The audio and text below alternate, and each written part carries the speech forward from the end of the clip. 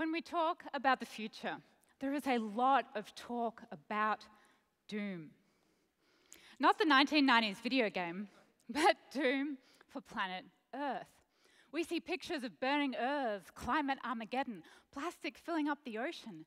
And then there's that video of the sea turtle with the straw stuck so deeply in its nose.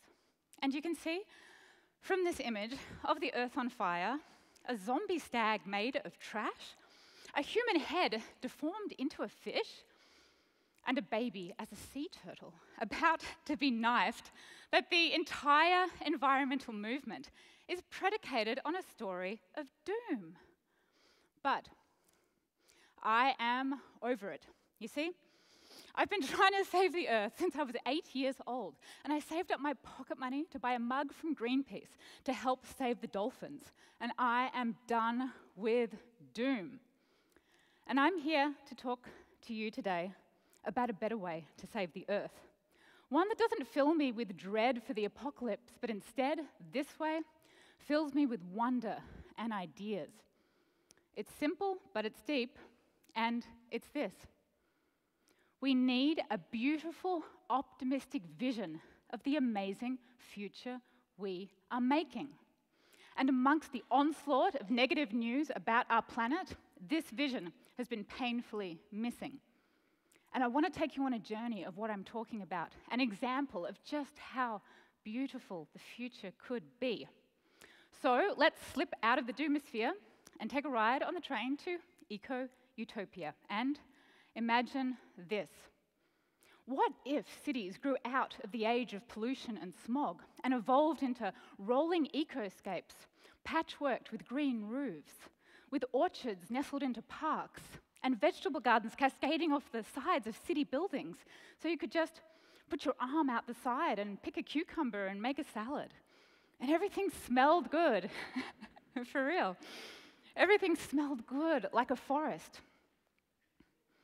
Imagine when freeways could get taken out and replaced with electric trains and bike paths and those green bridges for deer and koalas hauling their baby koalas to walk across. That's a real photo, by the way. and we're done with plastic and junk, and our next generation of children grow their own fruit and vegetables at school. Amazing vegan food is available everywhere in compostable packaging, and landfill is extinct.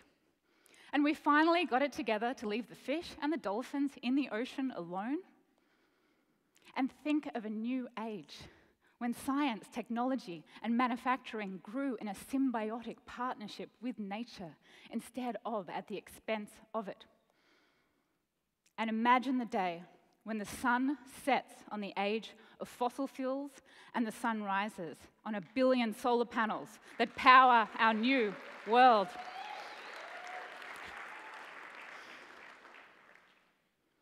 And just, it sounds amazing, right? And just in case you thought this was a fairy tale or a fantasy, let me share some evidence that this is actually already happening.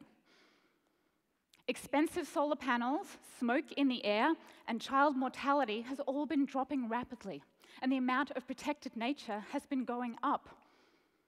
And this two story mega freeway in South Korea got taken out 10 years ago and replaced with this green natural waterway. Even carbon dioxide emissions, the big issue of our time, has been going down in America recently and in other developed countries. But even though change is sprouting up all around us, there is still a giant obstacle in front of us. it's big rock. Um, and I don't think that this obstacle is greed or mega corporations or all those type of things that we hear about. I think what will power us over this obstacle is imagination, a vision of the future world we want, and the creativity to make that vision happen. And just in case, just in case you think that these three words sound flaky or soft in the context of major world issues, like you can't just macrame your way to a carbon neutral economy, right? But hear me out because I've spent a lifetime trying to understand how to save the planet as an environmental engineer, a green building designer, a tech startup founder. I even just wrote a book literally called How to Save the World. and I've read hundreds of academic papers about the psychology of how to get people to do pro environmental things. And what I found at the bottom of all of the technology and the politics and the blame is that it is vision and creativity that drives change. And here's why. Let's start with building a movement. You may be familiar with this quote. If you want to build a ship, do not drum up the men to gather wood, divide the work, and give orders. Instead, teach them to yearn for the vast and endless sea. See, a vision that you can articulate not only unleashes the dream in you, but it unleashes it in everyone around you. And that is why the Martin Luther King speech was so powerful, because it was constructed from a vision of a positive future. And he used those magical words I have a dream. I want to share a story about why I'm so passionate about this.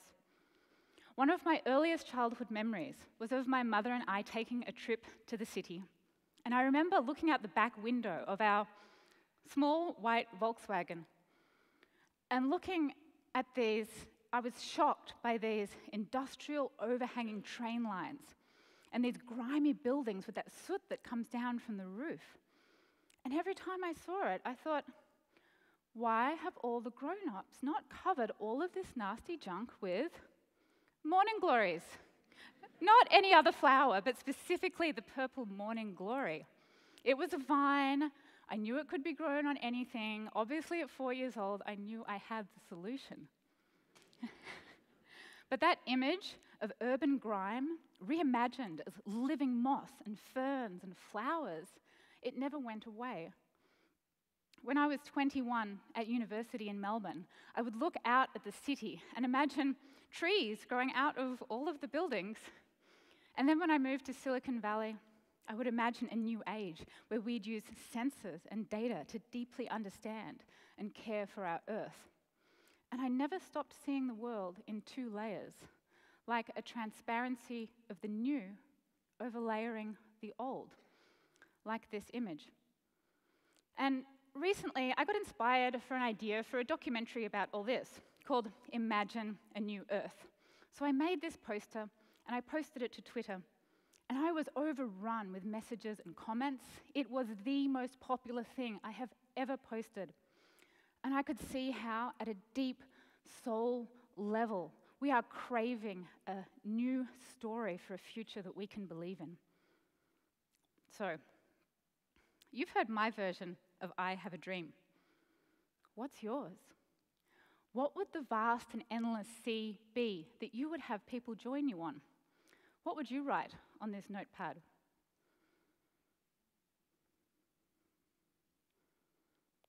And this dream of yours, it has a secret superpower. It's optimism.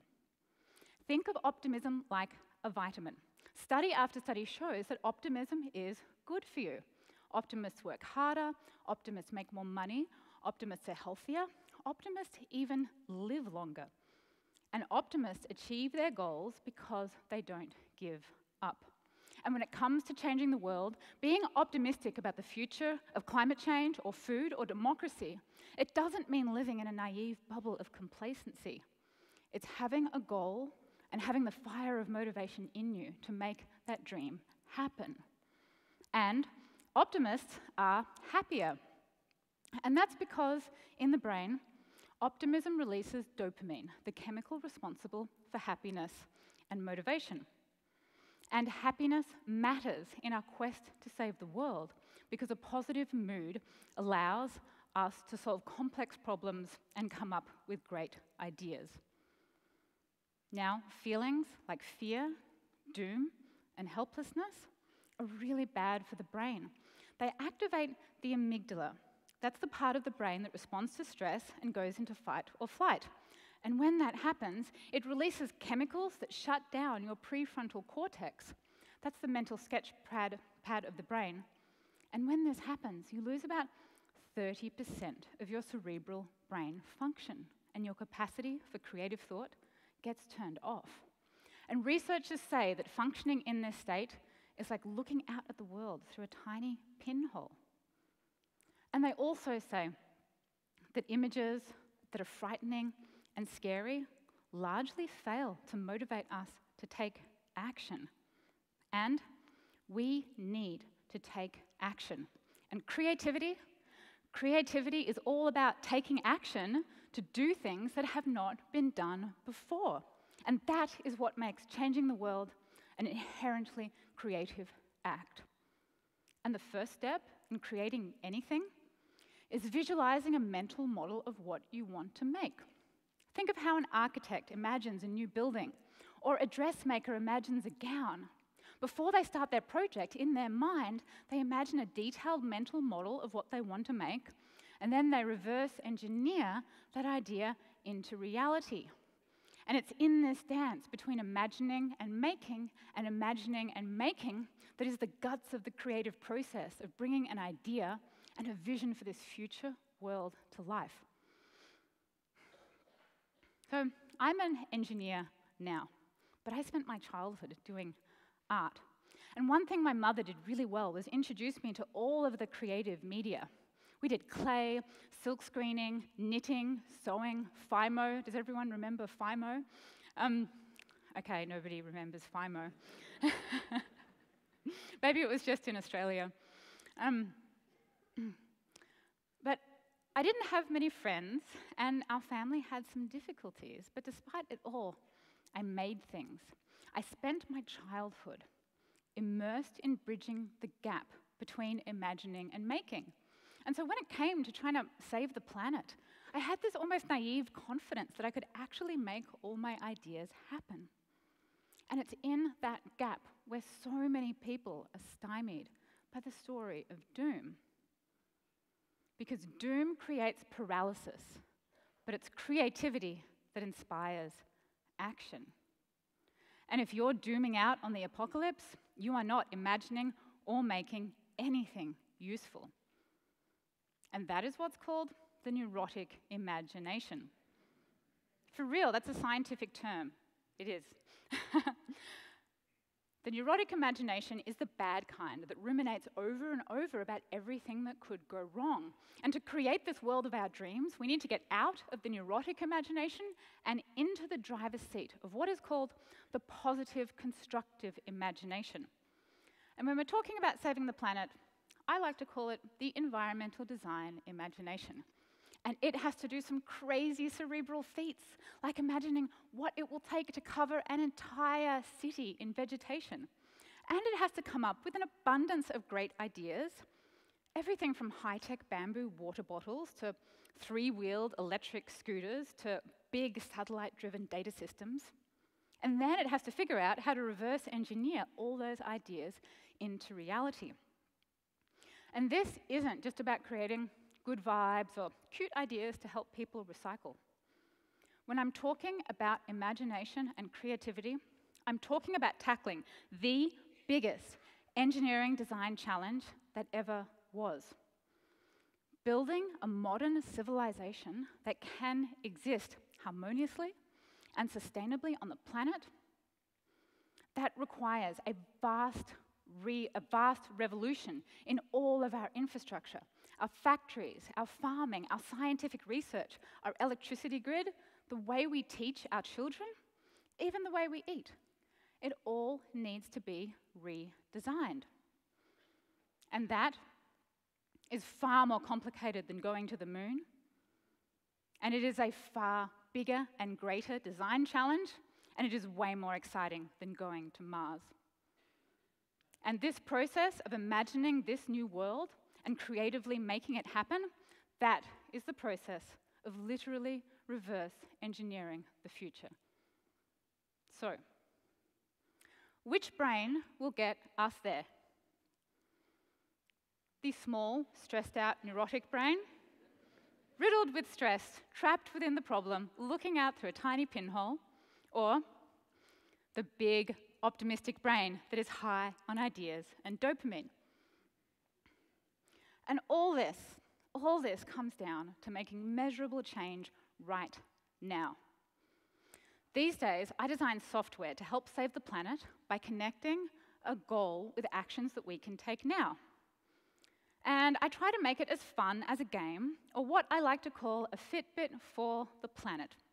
And it is so fun, and it started to get really good for me when I started to do this one thing. Three years ago, I was pushing my toddler in a stroller up a very steep hill in San Francisco. I was exhausted, and I was listening to this audiobook called The Big Leap. And the author says that you should spend time every day in what he calls your zone of genius.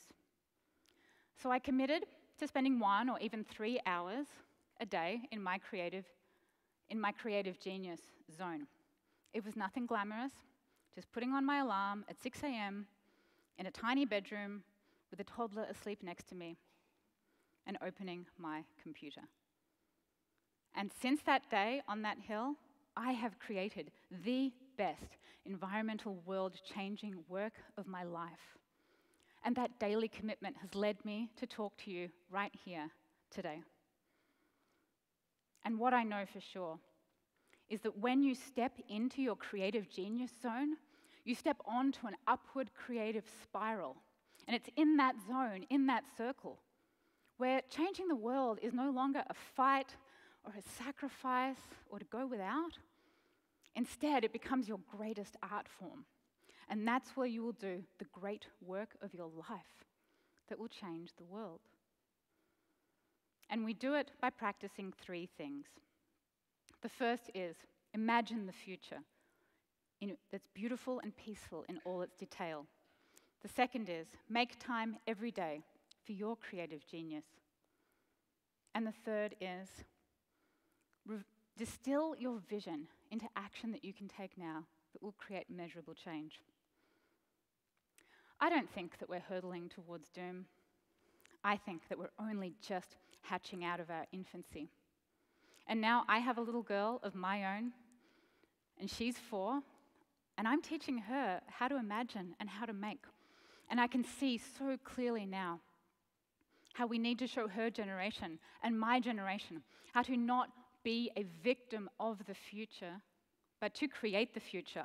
Like it is the canvas and we are the artist. And that's a dream that I can really get behind. That imagination put into action will save the world. Thank you.